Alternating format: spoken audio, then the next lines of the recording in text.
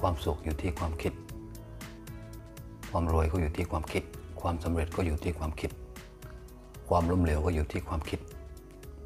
ความยากจนก็อยู่ที่ความคิด ความขาดแคลนก็อยู่ที่ความคิด ความมั่งมีก็อยู่ที่ความคิด โลกสวยก็อยู่ที่ความคิด โลกไม่สวยก็อยู่ที่ความคิด สวัสดีครับเพื่อนๆครับ วันนี้ก็เอาสาระดีๆมาฝากกัน ช่นเคยนะครับ เพื่อนๆเคยสงสัยไหมครับว่าทำไมเราถึง เจอแต่สิ่งที่เราไม่ค่อยต้องการ เพราะนั่นมันมาจากความคิด สิ่งที่เราขาดไปก็คือ ไม่รู้ว่าเกิดมาทำไม และที่มีชีวิตอยู่ก็ไม่ได้ใช้ชีวิตตรงจุด ที่ว่าเราเกิดมาทำไม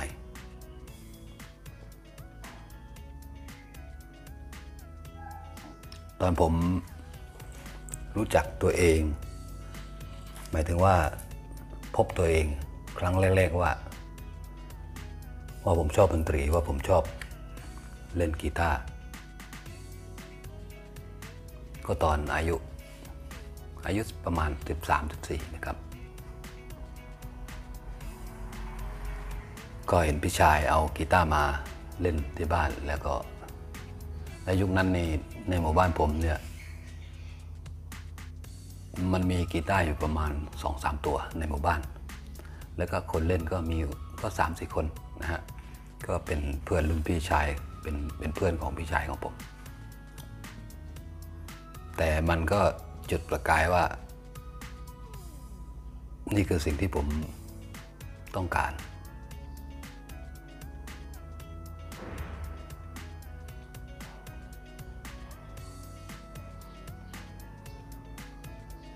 กว่าที่ผมจะเล่นกีตาร์ได้นะฮะ ก็ต้องอาศัยการฝึกฝน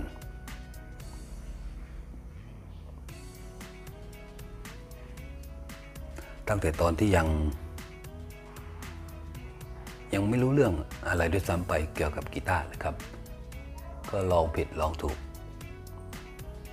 ก็ลองหัดเล่นเล่นไป แต่มันมีจุดประสงค์ เพราะผมรู้ว่านั่นคือจุดประสงค์ของผม คือเรารู้ว่าเราเกิดมาทำไม และเราใช้ชีวิตให้ตรงกับจุดประสงค์ที่เราต้องการ จุดประสงค์ของผมก็คือ ก็คือ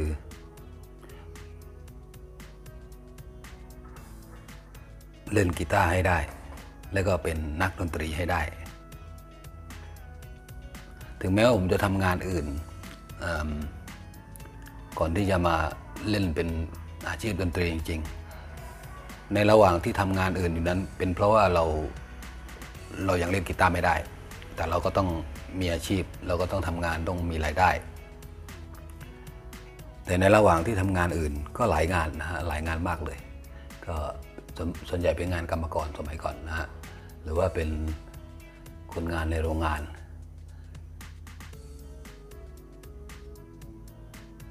แต่มีสิ่งหนึ่งที่อยู่ในตัวก็คือ เป็นคนชอบเล่นกีตาร์แล้วก็ร้องเพลง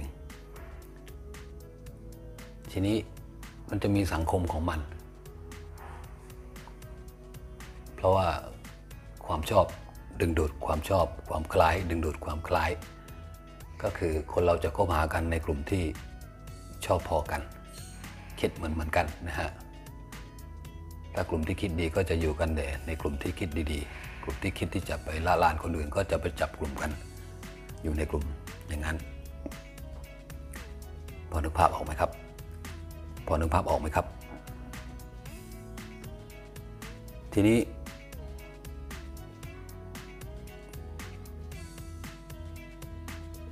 ในระหว่างที่ทำงานไปเรื่อยๆเนี่ยก็มีที่จำได้ก็คือ มีงานก่อสร้าง กรรมกรแบกไม้ ไม้ยางไม้ซุงเนี่ยเป็นพนักงานบรรจุแก๊สในโรงงาน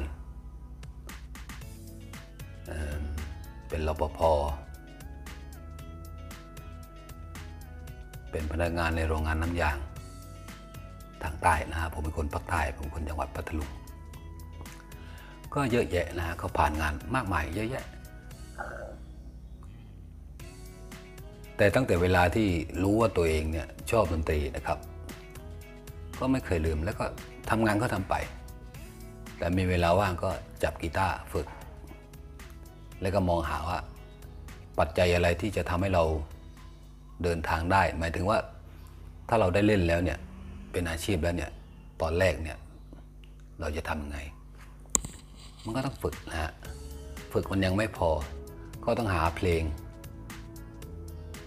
ที่จะเอาไปเล่น มีงานเข้ามาหนึ่งชั่วโมง ต้องมีเพลงกี่เพลงถึงจะพอก็ช่วงนั้นก็ผมก็ ก็ฝึกไว้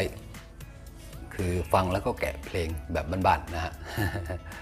ก็ได้ประมาณ 30 เพลง ก็เป็นเพลงเพื่อชีวิตอะไรพวกนี้นะแต่ว่ามันมันเป็นเพลงที่ผมชอบล้วนๆนะครับ มันไม่ทุกข์ทั้งๆที่เราทำงานที่ทำงานเลี้ยงชีพ เป็นงานอื่นไม่ใช่ดนตรี แต่ตอนนั้นมันเป็นตอนเริ่มแรกของชีวิต แต่มันมีความสุขทุกครั้งที่เราจับกีตาร์แล้วเราก็พัฒนาตัวเองไปเรื่อยก็แกะเพลงไปเรื่อย จนในที่สุดเราก็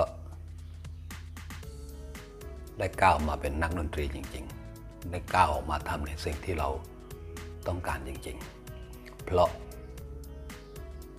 ผมรู้ว่าผมเกิดมาทำไม แล้วก็ใช้ชีวิต